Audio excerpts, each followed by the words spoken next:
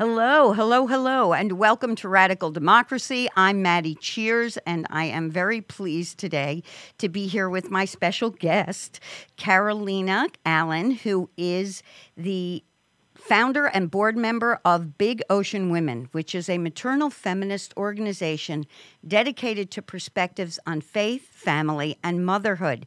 Carolina has a BA in philosophy from the University of Utah in culture special excuse me, Caroline, you were emphasizing cultural religions and philosophy of science. Oh, I love that. Her groundbreaking work has been presented at various international conferences, including the UN Commission on the Status of Women and the UN Habitat 3 conference. She is a native of Brazil and a fluent trilingual. She and her husband are homeschool enthusiasts and parents to six budding artists, athletes, and scholars. She is an avid soccer fan and had a brief career as a semi pro player. Man, uh, are you 100 years old? I laugh or? every time. wow, what a life. What wonderfulness. So, thank you for being here, Carolina. I'm so excited that you agreed to join us. And I really, thank really, you, Maddi. I, I love your work. I love your organization. And I really, I, like I said, I am going to start with the big question of the day What is a maternal feminist organization, or what do you mean by the term maternal feminism? Yeah, thank you. That's a great. That's a really great question to start with. It's um, it's kind of a, I call it bridge language. It's it's language that can connect um, a lot of women that perhaps may feel alienated or not included within feminism, um, and also it can bridge feminism to um, you know a huge population that um, hasn't quite maybe um, connected with the word. Um, so I think that for many women, including myself, and kind of the place where I came from uh, to even come up with um, the organization and um, and to you know organize it and what and whatnot. Um, I deeply, you know, was anchored in my identity as a creative you know, female sex body, you know, as, as potentially being a mother um, from a very young age, and that was cultivated within my family. Oh, did I lose you? I'm connected to my ancestral roots and all of that. Hello. Yes, I'm. You're Hello, here. Are you there? You're back. Okay. Sorry. That's okay. Sorry. Um, yeah. So I was saying that you know my my own personal story. I came from a place of not feeling completely connected to the philosophy of feminism that kind of um, made my own internal personal sense of power that I was anchored to my identity as a potential mother um, and as a as a creator um, and as a um, someone who's deeply anchored to my ancestral roots and my family ties and my own faith tradition that you know has given me the resilience and the strength to do some really hard things. So, um, and uh, you know, I'm not an isolated person that feels this way. You know, there's uh, 80 some odd percent of the women of the world identify with the faith tradition, and uh, so many of the women of the world are currently mothers or grandmothers or want to be mothers in the future. Uh, so th- this is a large population, and feminism. Uh, sometimes the, the brand of, of of feminism has kind of scoffed at those things and um, that, that that those things are the very roots of all patriarchal oppression on women.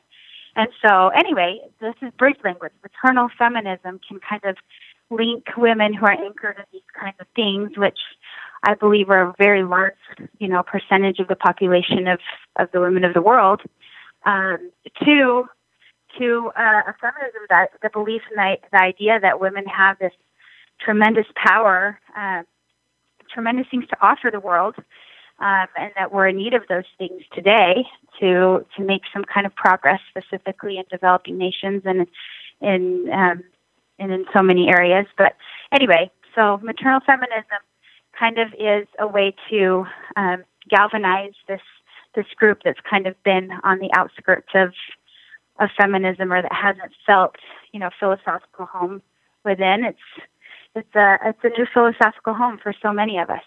Well, and I love that, you know, and I, I, almost feel like we could even call it creative feminism, be, too. Sure, yeah.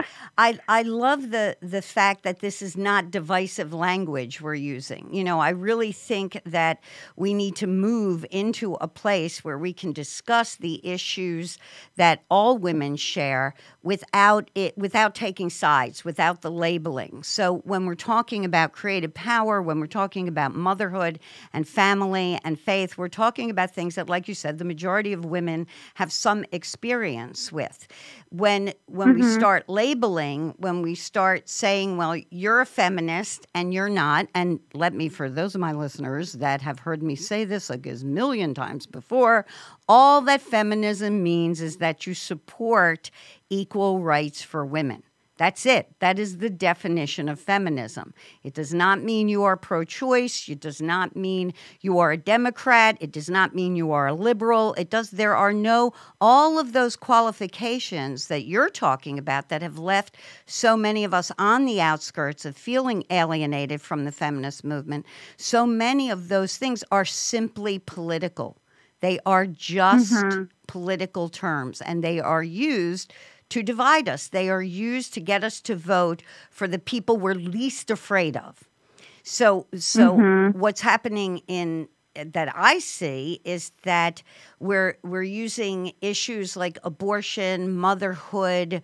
Um, we're using issues of community, issues of gay rights, issues of gay marriage, issues that are that can tear people apart if there isn't something provided where we can talk together, if there is not a forum for us to have conversation. I, I posted this today. I don't think we need more debates. We need more conversations. We need to oh, find yep. those places where we can agree, and then we need to tell our leaders that that's what what we agree on, because this mm-hmm. our biggest the biggest problem that I think we're facing right now is we're stuck in a hierarchy mindset. We're stuck in this mindset that we have to have one government or another where there's either a small body of people telling us what to do or a gigantic body of people telling us what to do. And you and I have talked about this before, you know, going back to Albert Einstein with the, the quote about doing the same thing over and over again and expecting a different remote, uh, result is insanity. We can't yep. look to hierarchical systems. We have to look back to indigenous systems and and I mean this is supported with in new biology it's supported in even in a lot of quantum physics people are talking about this the HeartMath Institute Dr. Bruce Lipton is, with the biology of belief we are talking about actually looking back to what we in Uh, scientific terms, people call this animism, but it's much better to call it culture. We are looking back to nature based cultures so that we can find harmony, so that we can repair the earth where we all live, and so that we can create community. We, that is what I find a lot of young women feel very, very lost. And I think because the expectations of classical feminism are very, very high. It's like there's something wrong with you if you can't be a mother and have a job. You know, if you can't, I was talking yeah. to, I was talking to a friend of mine who's 36, and she was talking about, you know, she looks at her neighbor across the street who does get to stay home and take care of her kids, and her life is so much calmer. And you know, she's got to go to work in order to have her kids in a good place, in a good school system, and she she does like her job, but she really kind of wishes that there were days when she could be home more. She's lucky. She does get one day at home because of the way her, her company is. But that's another thing we have to talk about. It, you're talking about on an international scale. How do we support these women? How do we, you know, how do corporations support these women? How how does this happen in other places in the world? So that's kind of what I wanted to talk to you about. What what are what are your ideas? What have you heard people saying? When you go to the United Nations. well, it's it's interesting because yeah, there there are different countries that are in different places. You know, um, you, for example, I have I have a, a there's a great group um, in Sweden, Haro and CFAS, uh, organized women's groups that are um, bringing a lot of awareness to exactly this situation where, um, you know, this, this progressive Nordic country is really struggling now with women who are feeling dissatisfaction going to this nine to five job, clocking in, doing something that they kind of like, but right. the, the, the challenge is, is that this is what they were told is the most meaningful contribution they can make in society. Right. Um, but then they have to take their kids to, you know, an all day and in many often cases an extended day, um, you know, preschool, quote unquote preschool, um, where where their kids, you know, because of how many kids there are, they and they also have lots of rules against, you know, hugging the children and right. where where the kids want to be with mother and guess what? Newsflash, mother wants to be with child, but the system in which um, all of these social protection measures, you know, of course, the, the, the daycare is free, you know, the education is free, all of these different things, but you have to pay in. As a citizen, you have to do your dues, pay your dues to be Right. able to do this. So it's been best described this way from one of my friends. She said it's almost like the system was created for the people, but at one at a certain point in time, the system needs to it just feeds on itself. So Yes. you're just feeding the system. Yes. And yeah, and so I think that either way you look at it, or if it's if it's just required, you have to stay home in your culture. You have to. You have no other options. And I think that's exactly what what feminism is at the end of the day is, you know, looking at women as individual contributors and leaders within all levels of civil society, you know, within the home, within the community, and extending outward. What is it that the woman chooses to do, and how can, as a society, we best support her? And same same for men as well, you know. Um, yes. Think that there's some some dads out there that are phenomenal at home dads, and you know, care workers that we always call, you know, at the UN, care work is is the term, but the ones providing that um, kind of economy of all economies, you know, and um, but but at, at the end of the day, we, we have to say that there are biological factors, um, you know, that that predispose, I think, women for this creative work, um, and that set us apart in, in many ways as as being really uniquely um, adept at, at, at doing this, specifically when when children are very very young. I Yes. mean, um, our, our own physical bodies are manifestations of, of being able to to give what only we can give at that time. Um, of course, there are a myriad different you know situations in which that that's not the case, but all over the world, that for many, many, many women, that that is um, a beautiful gift to humanity that we contribute. The challenge is, and this is what I'd love to ch- to have uh, to see the change, is that it's not viewed. The perception of that is is viewed as kind of very minimal, uh, uh, or just um, Mm-hmm. something that's just not even it's not even quantified in, in our economic accounts internationally. The the entire maternal economy that's keeping every other economy afloat in this care work. And so if we were to value that and value that contribution, the emotional caring that women do and, and, and the, the, the physical and nurturing um, in, in creating safe spaces and in um, creating places where children can thrive through abundance mindset where those things are taught. That's an invaluable, invaluable contribution to the world. Exactly. And so if nations were to be able to recognize that, I think women's situation in whatever it is that they chose would be also supported. Yes, and that that is exactly the problem. That is the problem whenever you get socialism, communism, capitalism in its rampant form, you know, whenever it whenever the system and this is the cycle of human development, you know, forever. You know, whenever the system becomes more important than the people, that's when the breakdown has to happen. And that's what we're seeing now. The systems have become more important than the people. You know, like you're talking about Right. what's happening in the Nordic countries. And they're always held up to us here in the United States. Oh, they're the happiest places in the world, when that's really not true. And that, that Right. and Norway, we have to get away from that. Five and a half million people, and and North Sea oil. So pff, you know and the fact that like you just said people get told this is your job there's still the government Mm-hmm. is telling you what you should be doing where when we look to uh, the Haudenosaunee, when we look to the Great Law of Peace, when we look to how indigenous people organize their government, what we see is that it really is bottom up. It really is where the people pick the leaders based on their character. So we're picking Yeah. leaders who have agreed to listen to us, um, and a lot of what's going on in the world is is that's just that's just something they say. They're not really listening to us because what they're really doing is they're busy figuring out how to divide and conquer.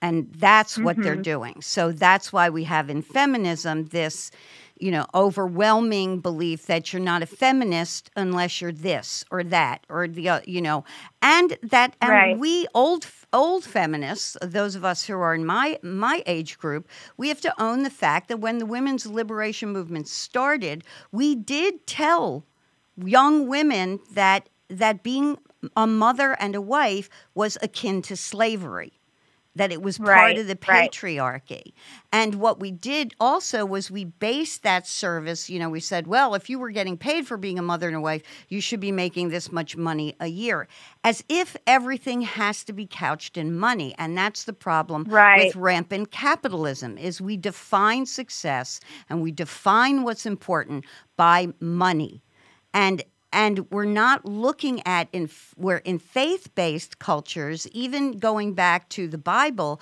where you have the just economy you have the just market where the markets are led by just people justice people you know not just just people not that kind of just, Right, but, right. you know fair people it's that's a requirement you know that there are fair people leading the economies leading the markets that that the market in its highest form allows for people to have a job make a living at something they're they're happy about they feel good about mm. so in its highest Yeah. form even even going back to to the Bible, you see that, but you also definitely see that in indigenous cul- cultures and even to a gr- greater degree because everybody's job was considered equal and you had the community supporting the family. And the family mm-hmm. is what supports the community. So you can't have one without the other.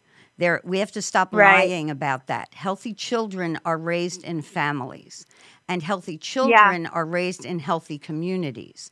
So we we have to we have to get away from saying that that oh we and we we have gotten so far to the other end that we now have very young people, people in their 20s, that don't want to have any children, that are kind of like where I was a long time ago. This world is so horrible. Why would I bring kids into it? As opposed to, "Ooh, well, maybe my kid's going to be the one that changes the world. You know, and Yeah, th- yeah, rather yeah. than that positive look towards the future. You know, so we have to we have to own a lot of what what has happened in, in our history in the past, what has been said, and what we now know is not true.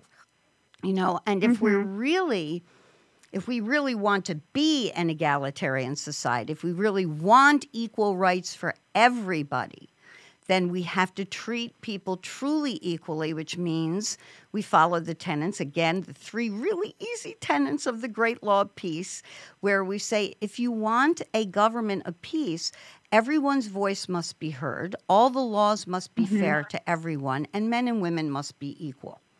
So when you when you just look at those three simple things in governing, then you can you you just don't allow for this divisiveness. When you look at the mm-hmm. idea that we choose leaders on character, you don't allow for the divisiveness. There's, there's no room for it because those aren't the I think I think Go ahead. yeah, I, I think that the, the the divisiveness is really rooted in the scarcity mindset where Yes. there's not enough, where there's, you know, a need for competition or this kind of scrambling and grappling for whatever kind of power. And someone that's really at peace and anchored in their own sense of internal abundance, you know, is not motivated by those things and simply wants to allow others to feel that same sense of internal peace and security um, and and works to promote that however however you know their different gifts and talents um, have developed. But I think that um, the the way that I'm seeing it is that there is like a lot of change happening in the world Yes. um, for the good as well. I think that you know, at any given time, you could talk to anybody on the street, and everyone will probably agree that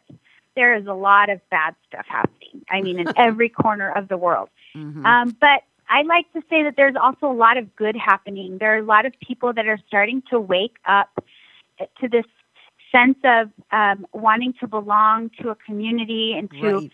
a group of people that are filled with hope, filled with abundance, filled with a desire to do something good for for um, for the rest of humankind. And I think that um, there's like a gathering of people from all different walks of life, from all other, from all faith backgrounds, from all life experiences that are kind of trying to find each other. Right. And that's what I feel like with you and what what your pro- program is doing, um, and in your um, women's one oneness program is it's just a beautiful project, and and I think that especially for young people today, that we can be beacons of light so that they can know where they can belong. You know, um, I I feel like um, there's you know in in some fantasy movies, you know, in kids movies and things like that, I can th- there's like a darkness kind of creeping hmm um, throughout the face of, of the earth. And um, all all I know is that I want to shine as brightly as I can, so that people can know to come, come, and let, and let's shine our light even brighter, and bring Right. more and more people to this place of safety. You know, Right. um, I and know there's so a yeah, lot of I, I see that happening. I see that happening. I do too. I really do see that. I see that in the women's circles. I see that. I see that with people actually going going to look for a way to include others. And i think that's the key is that we want to look for ways to include people in the discussion so that they do feel like they belong. I last week when i had jaden oliver on who's my adopted kiowa niece she was talking about how the problem with social media is often that you think you're included but you're really not. And it can turn on hmm. you you know the ah. you know if if your friend group is only on Facebook or Instagram or Twitter or whatever it is and you're looking for oh I got so many likes and you're basing your value on how many likes you have and then tomorrow you say something and you're getting all this horrible negative feedback you you can't Yeah. there's no stability there. There's no balance. And part of part of that is because we're not slowing down enough to talk to each other face to face and we're not Right, telling our children that face to face is where we need to be. That that Yep. Facebook is good for advertising, it's good for connecting on on a very superficial level. It is not Right. good for any type of depth. It is not a place where where you will belong. You know, because people can turn on you in an instant, in a heartbeat. Look how fast people get unfriended. You get unfriended. We've had people. Well, a lot of these things, a lot of these big quote unquote influencers and stuff. Uh, every uh, what one of one of the biggest challenges today is that everything is commodified. right. Everything is an advertisement. I mean, these people are are are getting their paychecks through sharing certain, you know, um, lifestyles. Right. Uh, from everything that they eat f f to what they wear to how how they vacation, what they I mean everything, everything. And so um and these social media platforms are the place where this is really being promoted without our even knowing it sometimes. Um and so I completely agree that um at the root of what it means to be human is to have a, a very critical space within yourself that needs to connect hmm and have this deep connection with other human beings. And, you know, and when you're in person, you can look someone in the eye, you can see their emotions, you Right. can feel the inflections, you know, the inflections in their in their tone and in in their heartbreak if they're telling you a story, and that does something. It, it embeds in your own the fabric of your own body um, this experience that you've shared together Exactly. through a, a conversation, through breaking bread together, through having tea together, through you know this real human experience, and that, that's what everyone's longing for. But we're we're left empty at the end of the day through these just very surface relationships, like Yes. you talked about. And I think um, we as parents, um, I think my generation of parents, I'm I'm 30 plus, uh, close to 40. Um, You're still a millennial, Our- though. Yeah, You're part well, of my I- miraculous I- millennial I program. Like our generation is especially it's tr- it's been really tricky for us because the rate in which technology is just moving forward, Mhm. it's hard to even keep up because Yeah. we're new at all of this.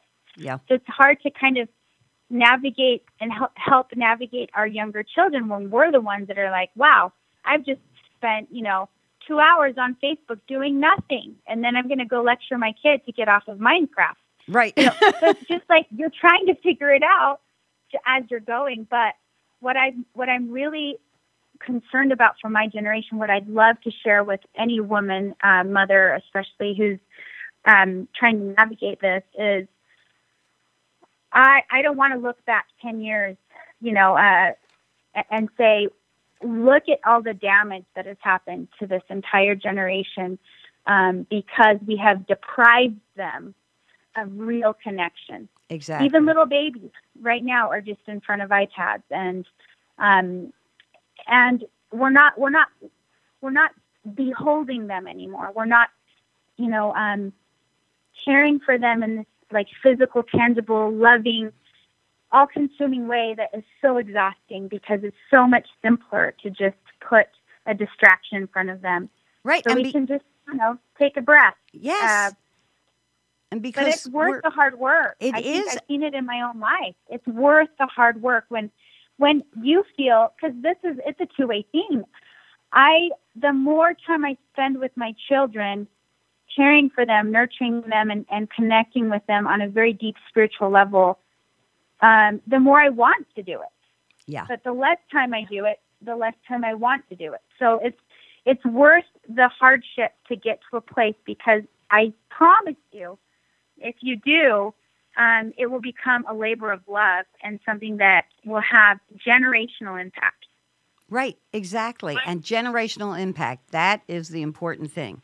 For the Haudenosaunee, in the Great Law of Peace, they do not select a male leader, and no offense, men, but they're, they don't pick a male leader unless he has children. Because their mm-hmm. observation after having been at war is that unless men have children, they remain somewhat more selfish. So Mm-hmm. I think that in this age, when we're looking at both men and women as leaders, even they're looking at changing. You know, they have a separation of jobs. Men and women have are equal. They have equal power. Women slightly more in their traditional government. But as we're looking at men and women coming into power, we are we have to look at character, but we also have to look at how committed are they to the future, to the next seven generations. And if you're committed to the best for the next seven generations, you don't make a lot of the decisions that have been made by both of our parties and and countries all over the world that are are endangering our very existence. Our you know, we- there are scientists like again I'll just mention Dr. Bruce Lipton who believe we are on the age of extinction and that is because we have adopted this sort of of you know this the survival of the fittest concept you know everything's just random so what the heck you know if it, this is Yeah. my, my life here that's it i'm done so i can pretty much do whatever i want and and i have Right. no obligation to the future when in fact uh, and even science tells us this now we are all connected and we do have an Yeah. obligation to the future and whether or not you do have children you you you have to be if you're going to represent people you have to be sitting down with the mothers and fathers of these children and that is what is not happening in our government Love, yeah. that is not so happening here in the state of New York. I'm going to do a show on this again. I did one a few months ago. Andrew Cuomo's response, and I do think I've mentioned this a million times, but his response to people who want to opt out of testing, there, you know this being a homeschooler, I'm sure, buku years and years since 1968 research to prove that standardized testing and standardized curriculum has nothing to do with educating a child to be their best self. Yeah. As a matter of fact, is detrimental. Personally, I think it's child abuse. I think it has gotten to Yeah. that level.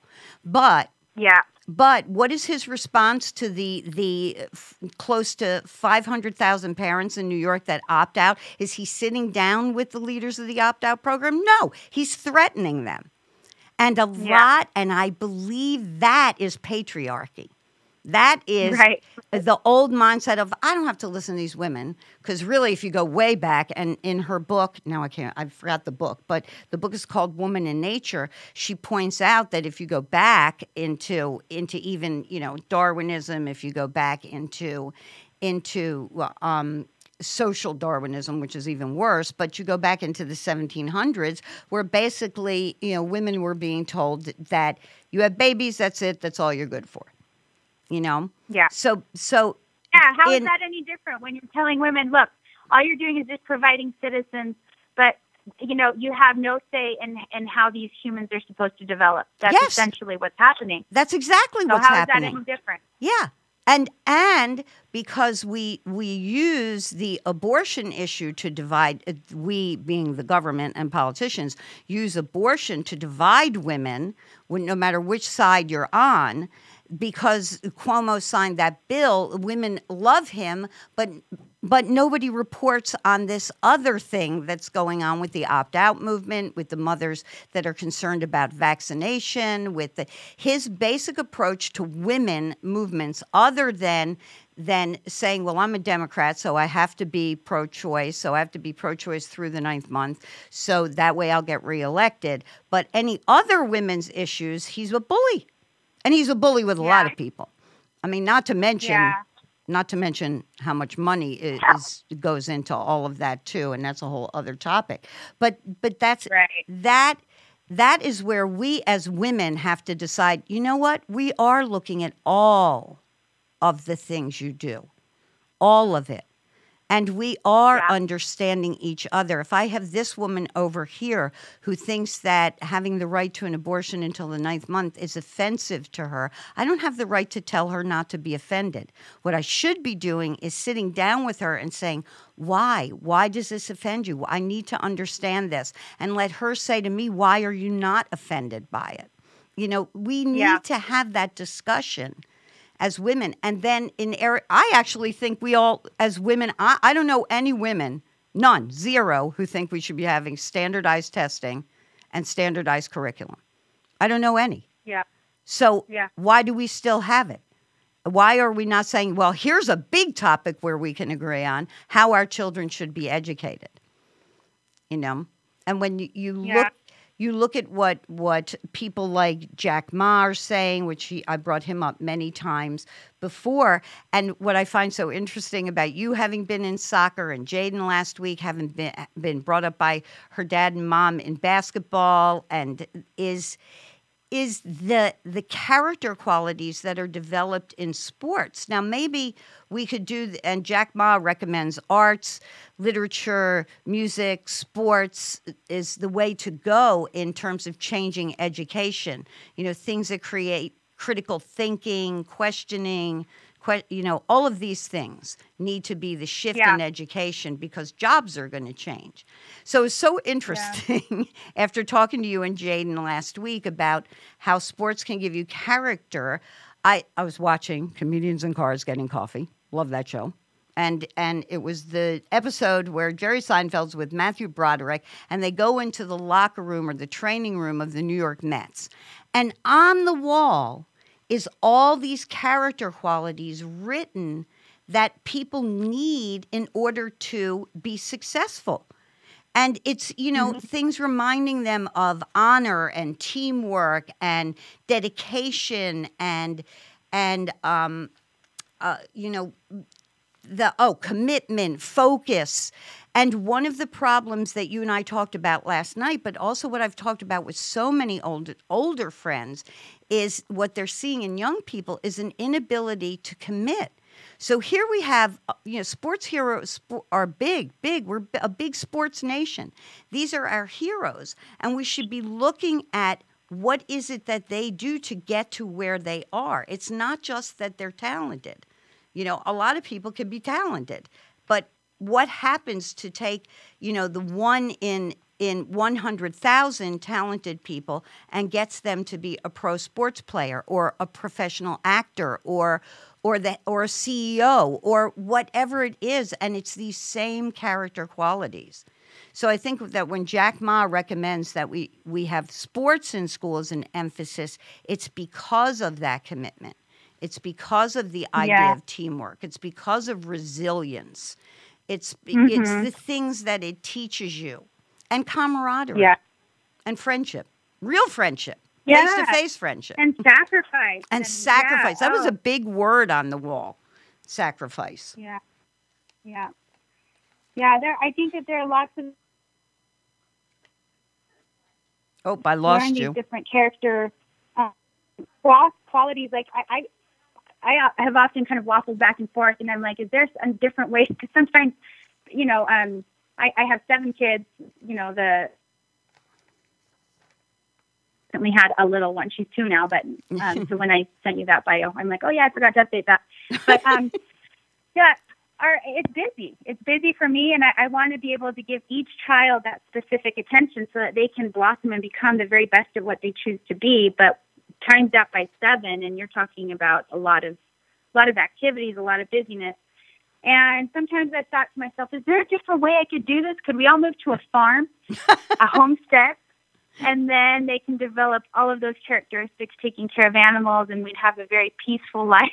Right. And they all laugh because I, I'm, you know, half joking but half serious. I mean, I can't tell you how many times I've, you know, gone on on Zillow and looked at homestead land in Missouri or something. But um, yeah, I I think that there are lots of I think in our life understand that different experiences will put us in a in a position where we truly can um, surface all, all of these very um, deep seated, magnificent character qualities that right. we all possess.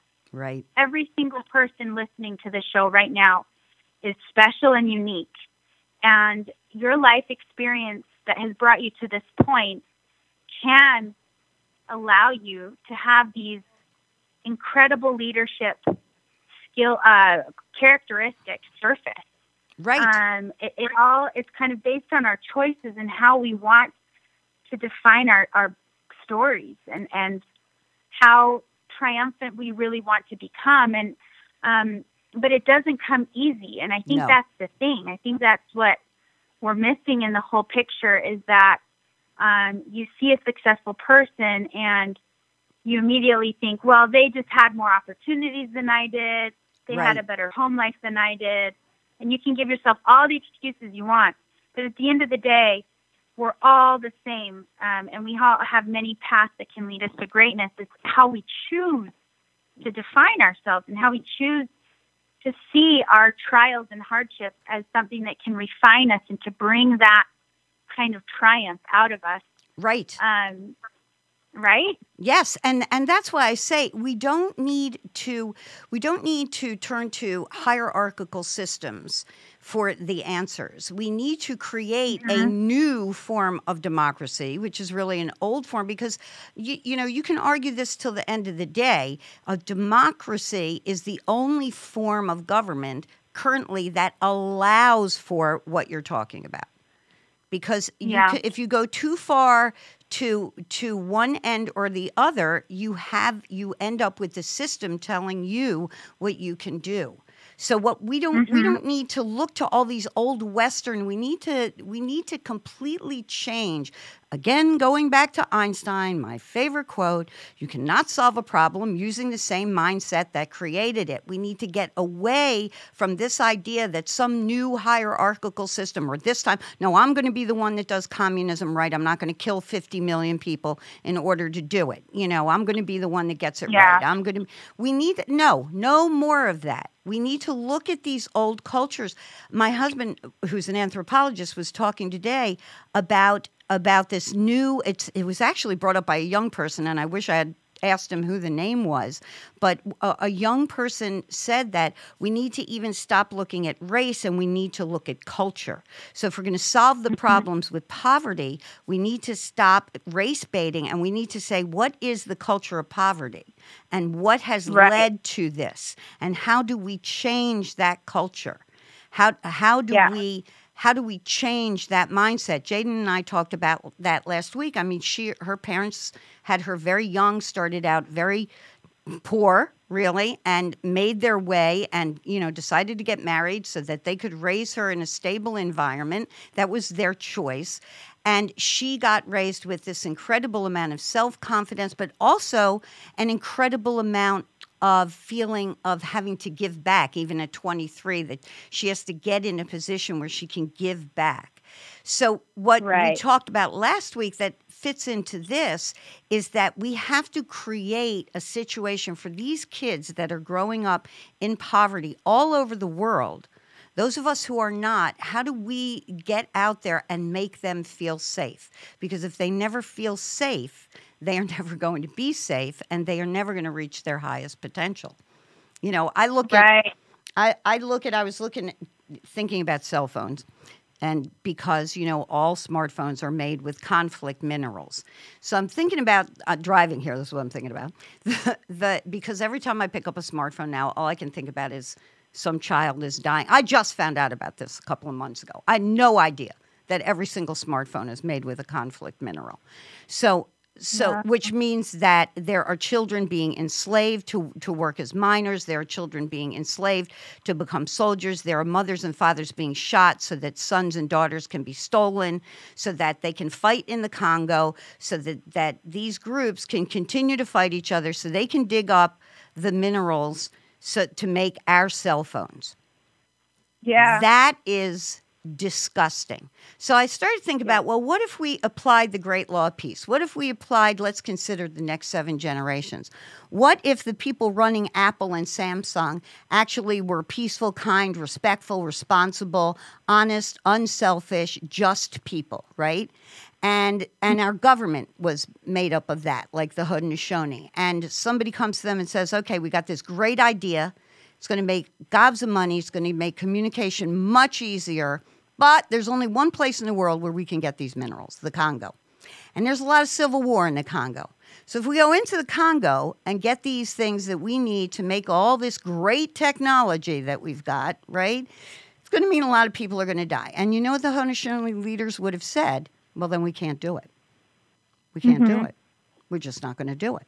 Or they would have said, now, if it's that necessary, we got to figure out a way to do it that is just and fair. So you guys over here at Apple with a gazillion dollars here, and you guys over here at Samsung with a gazillion dollars here, we're going to send you with some of our best leaders. You know, they have peace leaders. They have these the the their leaders are great talkers. They're like Nelson Mandela's, you know. So we're going to send you with our, our, Nelson Mandela Jr. over here to go talk to the leaders of the Congo. You're going to bring the money piece, and they're going to sit there and talk about bringing peace to their nation. And then we're going to bring peace to their nation. And then we're going to say, okay, this tribe over here, you're going to make the, the cell phones for Samsung. You're going to make the cell phones for Apple. You're going to make the cell phones for blah, blah, blah. And everybody's going to own part of this business. You're all going to have a stake in it. And you're, we're going to pay you the gazillion dollars you're worth because we're making a gazillion dollars. And then we're going to have peace. Now, we might not be, have the Apple 10 right now. Maybe we'd only be on Apple 5 but no children would be dying. No women would be maimed. Yep. No, no, this, I, excuse me, this is what has, this is the mindset that has to change throughout the world. And, yeah. I, you know, I, I don't know if you read this recent report. I just read it in The Economist where 22 democracies came down on China for the mistreatment of the, the Muslims that they've th- thrown into work camps. Also, they've done that with Christians and you know anybody. They do this all yeah. the time. So, 22 um, democracies condemn China for human rights violations. 36 little dictatorships that China pays off just praise China for their human rights. So this is where yeah. this is, you know, this is the the macrocosm. This is what we're seeing in the world, but we also see it here at home. We're also seeing yeah. it, and and somewhere there needs to be a consistency and an integrity in our solutions. And we need to understand that these solutions are not going to come overnight. They are not going to come from the people we're currently electing. They're going to come right. from a different type of leader, a different type of person. Yeah. But they're not. I think we, go ahead. The big ocean, we call it the model of powerful impact, where you have to start with yourself, yeah. and and the way you start with yourself, I think, is that you know there. I I I believe that there is um, an infinite source of abundance in yep. the universe, and you have the responsibility to tap into that for yourself. Right. So that you can become a vessel not not a container where you're that scarcity mindset is I'm a container. I need to right. fill myself up because I'm going to be depleted. Yep. Um, but when you have when you're tapped into the infinite source of abundance, you re- recognize that you really just are a vehicle and you're a vessel. Right. And then the the first place and obligation you have is to your family. Uh, everyone has a family. Yep. Um, and so it's it's immediately to them, and then it it spills over. There's so much of that love and abundance and generosity that can it, it impacts your community. And if you have a community like that, you know, communities like yes. that in the world, yes. things change. Things change, and you recognize that a political structure, uh, that that a cultural shift is so much more sustainable and long term uh, powerful than a, a, political, you know. Um, exactly. Any, shift. any yes. And so I, I any political yeah. shift is momentary, especially the way we run this country. For yeah. we've got two parties, yeah. Yick, you know, the Haudenosaunee have nine. They're busy lying to each other and lying to us. I mean, really, that's the way we're controlled, and they keep us thinking that we're victims, you know. And mm-hmm. and when you look at um, Dr. Lipton's work, when you look at at uh, Dr. Hawkins' work in Power versus Force, you you when they're talking about how you shift things, how you work towards harmony, not towards survival of the fittest, which is a misunderstanding. Right. When you work towards harmony and community, you start at the level of courage. And Dr. Hawkins' work eh, in kinesiology, he says that the, the break point of where you start to develop a higher consciousness and higher social responsibility is courage. And like Jaden and I said last week, it takes no courage to sit down and have a conversation with somebody you agree with. Yeah. Yay, pat yeah. each other on the back. I'm so smart. You're so smart. We're so great. Who cares? You know, I mean, I do mm-hmm. care that you're smart, you know, and I, I do care that you feel smart and good about yourself but but find that place where you can take that risk find that place where you can show that courage because it's that courage to put yourself in that uncomfortable situation to make that sacrifice yeah. that's going to raise yeah. your consciousness that's going to raise the level of all of us and everyone around you you know, I mean, I yeah. have no problem. I always, I t- and you know, I've had you know Destiny Herndon De La Rosa. I've had this conversation with her before, and you, me, all of us, all my friends, my you know Dr. Conti who was on, I, uh, uh, my Cheyenne friends, my Kiowa family, my Cheyenne family. What I notice in a lot of these people is is humility you know, yeah. there is a level of humility. They may be very, very passionate about what they li- believe, but they're also very secure in saying, "Oh, I could be wrong." you know, yeah, I, I could be yeah. wrong. I mean, I could be totally wrong. I just don't think we are. Or, I think or you're the humility to say, or the humility just to, to give to someone, like, you know, like thank you for sharing that. I've never thought of it that way before. You know I, I don't know why we're so afraid to do that or why it doesn't take anything from who you are to right. be able to add what somebody has given to what you have. Right. Because so because we're kind I think that through dialogue that you just are adding you get there's there's beautiful reciprocal kind of building up of, of creating something together that can only happen when when people are, like you said, humble and open. Um, and that's and, and working from this place of abundance. Yeah. Right. And that's the character quality we should be looking for in our leaders is humility. And, mm-hmm. and we're not even looking for that. We're not even thinking about that. We're still locked in that competition mindset. My guy or girl is going to win. Yay they won mm-hmm. the debate. It's you know big deal. That is not going to solve anything who wins yeah. that debate is not going to solve anything if that person yeah. in that debate says I want to have a conversation. You know, I really can't answer that question because I haven't had the time to sit down with a few people on both sides of this discussion and figure out where they are. It, it cracks. Yeah. It, it absolutely cracks me up. I talked to the leader of, of one of these huge um, progressive allegedly progressive movements. And I, and I said to her, you know, I've got a lot of friends who feel left out of the feminist movement, and part of it has to do with they, you know, they don't feel there's enough education in abortion and what it means. Part of it has to do with we're not focusing on women and economy. You know, we're we're we're just totally focused on the things that divide us. So we're feeling like our voices aren't being heard. And her response to this was well, we're a progressive organization. Well, you're not a progressive organization if you're not listening to everybody's voice. Because progress, yeah. being progressive to her is defined as you support this, this, this, this, this position. Being conservative is you support this, this, this position. Is we're labeling yeah. and we're defining what these terms mean based only on politics. Period. Yeah. The end. And we're fooling ourselves I think, into thinking this and is going to change anything. Progressive to me. No, absolutely not. And that's why I think Dr. Bruce Lipton. I think it's why you know Dr. David Hawkins. I think it's why why um, Dr. Henrietta Mann, why a lot of these elders and uh, uh, are saying we have to go back and look at how were things when we lived in small communities, when we lived in harmony with nature, and we lived in harmony with each other, when we didn't think we were victims. You know, one of the things that that um, both Dr. Lipton and Dr. Hawkins talk about is the, this lower level when you feel guilt, when you feel shame, when you feel like you're a victim, then you feel like somebody has to save you. You're looking for your rescuer. And yeah. the people who are smart enough to see that go, oh, I can rescue them.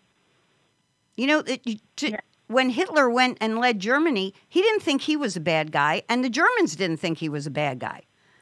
You know, yeah. when Stalin killed 50 million people, the Russians didn't think he was a bad guy. When Mao killed 50 million people, the Chinese that were with him didn't think he was a bad guy.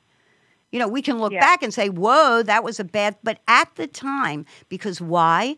They were playing the victim card and they were, they were telling you there's scarcity. There's, there's not enough yeah. for you unless we get rid of them. But that, I think that's what we can also learn in history too from folks like Dr. Viktor Viktor Frankl and and those that that yes. survived amidst the atrocities is that we have a responsibility to um, to rise above internally, and that's going to take hard work. Yes. So nobody, at the end of the day, nobody's a victim of of your thought processes and your your own mindset and your beliefs. You know, you could be oppressed physically on the outside um, to horrific levels, but at, internally, your spirit, your mind, your heart, all of those things are your own. No one can take right. that from you. Um, and that's what gives the survivor the courage and the power, the resilience to, to not just survive it, but to rise above it like a phoenix, you know? And yeah. I think um, we all have that responsibility. And I think we need to ignite that in each other because sometimes yes. we come across people that just don't believe it in themselves. But I think that part of that gift that we can be giving each other is that belief, um, you know, that sparks that again, with ignite that again within um, within each other. You know, right, and, and, right. Yeah, I think and, I think we're going to be okay at the end of the day if we can do that. well, I believe that too. And I think uh, that's where I think social media is good is because we can have a program like this that reaches more than just the two of us or, or the women's circle. But but the you know, we also have to start looking for different heroes. It breaks my heart that Nadia Murad, who won the Nobel Peace Prize in 2018, has never even been invited to speak in this country. She she was yeah. a she was a uh, I don't know if you know her story, and I'll just say briefly because we're at the end. But you know, here was a, a woman who was kidnapped at 14 by ISIS, sold into slavery, sex slavery, for many years, manages to escape, and now has created an organization to help other women recover from this experience and dedicates her whole yeah. life to this. This is her life. Yeah. We don't hear about her. We, she's not invited yeah. to speak anywhere. You know who's being invited to speak? The people who are divisive, the people who are yeah. who are shoring up the fact that that we cannot have this radical reunion, but we can. But then there's those of us who say we can. You know? Yeah. So we just need to keep gathering and gathering, and then just keep, you know, showing showing the rest of humanity what we really can become and and do it together. Yes. Um, and, and I, I I'd be all in for it. Let's get Nadia to come. Yeah, I'm down.